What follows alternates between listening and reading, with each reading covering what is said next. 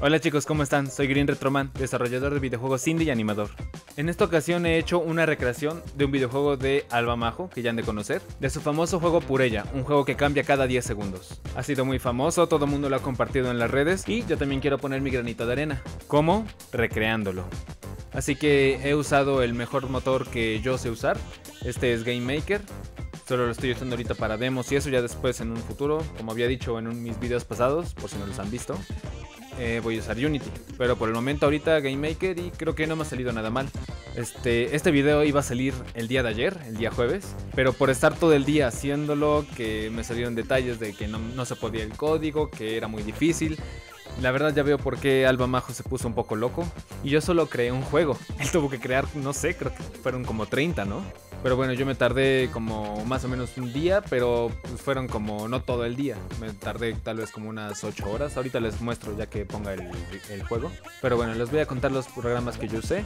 Fueron Game Maker para la programación de este juego y Sprite para los dibujos. También usé SFXR, que es para los efectos de sonido. Todo lo voy a poner ahí en, este, en la descripción para que puedan descargar todos esos programas. Unos son de paga, obviamente el Sprite y el Game Maker.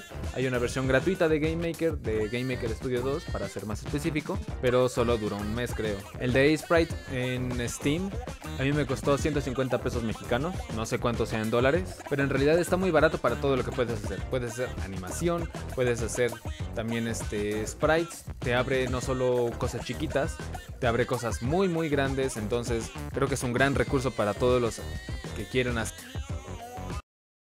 Ah, estúpido Nintendo. Oh. ¿Y tú qué haces aquí? Bueno, ya que estás por aquí, anda.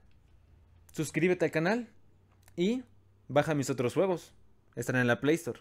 Pink or Blue y Piggin Tower. Anda. Hacer este, juegos independientes con pixel art. Porque lo puedes hacer muy rápido, muy fácil y creo que es una muy buena opción, además de que es muy barato. Y el otro programa de sonido, yo lo uso ya desde hace bastante tiempo, te lanza muy buenos sonidos para cualquier tipo de sonido como 8 bit o 16. Suena bastante fiel a los juegos antiguos. Y bueno, para no hacer más largo este video, voy a enseñarles cómo lo hice. Bueno, y entonces estas son las 4 horas y media que me quedé trabajando. En realidad fue un poquito más, ¿no? Pero este, este es más o menos como un resumen. Y está resumido en 10 minutos. Y entonces voy a irlo explicando para que vean cómo es. Primero lo que hice fue obviamente crear la recámara, es de 200 por 200 al principio, ya después lo puse de 150 por 50. Ahí está el personaje y ya ese medía de 30 por 30. Ya después fui midiendo a ver cómo qué tanto medía el personaje del villano, el barco de atrás. Y ese al final me costó como fueron 100, 120 por 80 píxeles. Entonces de ahí vi x igual x más igual a 1, x más igual a 2. Lo hice con los eventos de, de Game Maker para que fuera todo mucho más sencillo, para que fuera para izquierda y para la derecha.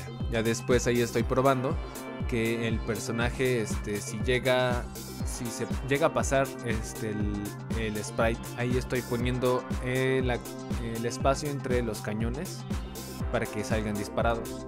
Este, las balas y las canicas. Y aquí ya estoy viendo este, la velocidad. También iba a poner este, niveles, dependiendo del nivel en el que estabas.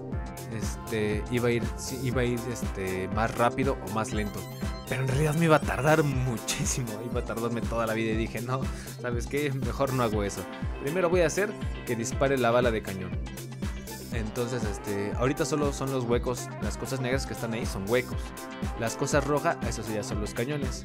Eh, son objetos que fui este, poniendo por aparte y ya después los iba este, moviendo, que se fueran moviendo con el movimiento del pirata malo. Y después aquí estoy poniendo que en vez de que se elija como siempre los mismos este, cañones, estoy poniendo que se elijan al azar. Aquí estoy poniendo No Ball y Canica.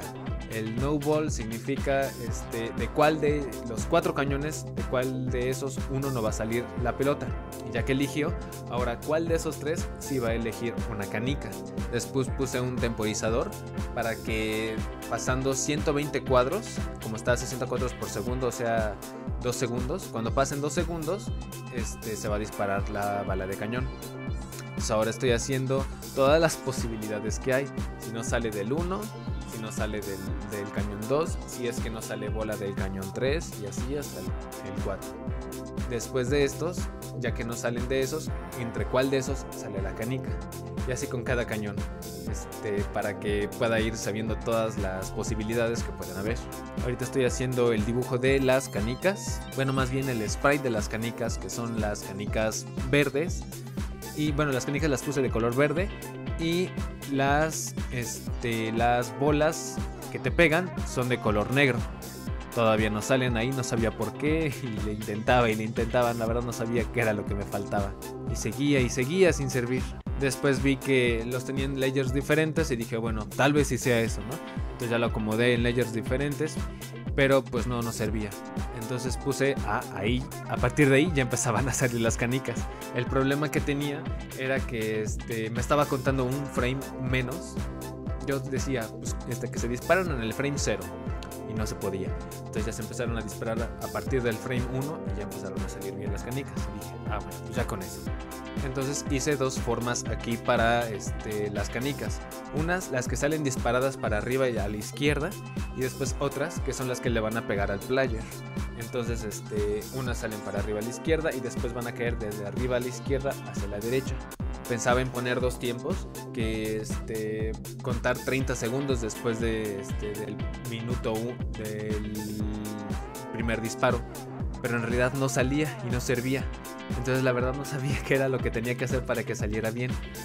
Entonces lo que tuve que hacer fue cambiar el time, este, nada más agregarle unos 30 segundos después de que ya se dispararon que ahora, digo 30 segundos, unos 30 frames que ya se dispararon, ahora que caigan para abajo. Entonces ahora lo que primero hice fue que se dispararan para arriba. Ahora voy a hacer lo mismo, este, de la misma probabilidad, pero ahora que salgan para abajo. Entonces nada más puse ahí del primer cañón, ahora del segundo cañón, del tercer cañón, y así, puros ifs porque sí, me van a odiar todos.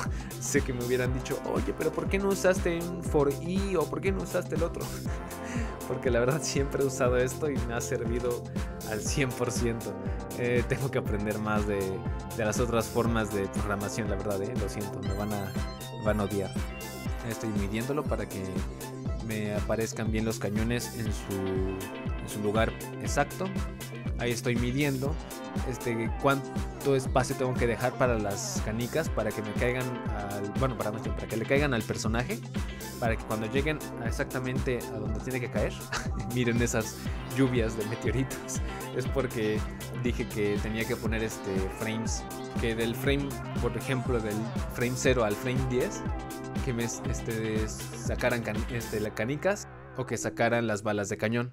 Entonces ya que salían las balas de cañón, pues ahora sí ya me iban a pegar, pero estaban saliendo como 30 o 50, no sé, estaban saliendo muchísimas por cada frame. Y a partir de ahí ya empezaron a salir, cambiaba la inclinación de, este, de las balas que caían, porque caían con, la con el mismo ángulo. Y en el de Alba están saliendo con un ángulo diferente este, cuando suben que cuando bajan. Entonces ya, ya les empezaron ahí a servir. Y a partir de aquí ya empezaba a hacer este, es una animación que hice muy pequeña para las explosiones, pero ya después la fui mejorando en Sprite, que es el programa que les decía para hacer animación y pixel art. Pero en realidad salió la verdad un poquito cutre. Entonces dije, bueno, pues ya voy a hacerlo bien este, en Sprite. Entonces aquí ya fue que le empecé a hacer. Ahí está el primer personaje. Ahí está el villano en realidad lo hice súper sencillo al principio, porque ya después quise hacer unos mejores dibujos, que son los que ahorita les voy a enseñar. Pues ya ahí ya está sirviendo el juego, estoy agregando el puntaje y ya sirve el puntaje. Pero ahora quiere ponerle una fuente un poco distinta para que quedara más acorde al juego. Y ya después la puse aquí en la fuente de color negro, ya se ve ahí. Aquí ya estoy agregando todos los sonidos. Bueno, entonces esto fue todo lo que yo hice para poder hacer el juego. Si es que quieren el código, se los puedo dar sin ningún problema, pero tienen que llegar a 100 likes. Si es que llega este video a más de 100 likes, subo el código para que ustedes lo puedan usar, cambiar y ya poner cualquier tipo de sprite, sonido o cualquier cosa que ustedes quieran añadirle. Sé que al juego le faltan muchas cosas como el Game Juice. Bueno, entonces miren, aquí ya terminé el juego. Eh, este es el, mi personaje. Ahí está el personaje de atrás. Lo que hice fue cambiar los diseños porque muchos de unos compañeros de Facebook de Game Maker me dijeron que estaban muy cutres mis dibujos, entonces lo que hice fue cambiarlos por estos. Espero que ahora sí les gusten mis dibujos porque sí creo que sí estaban un poquito feos.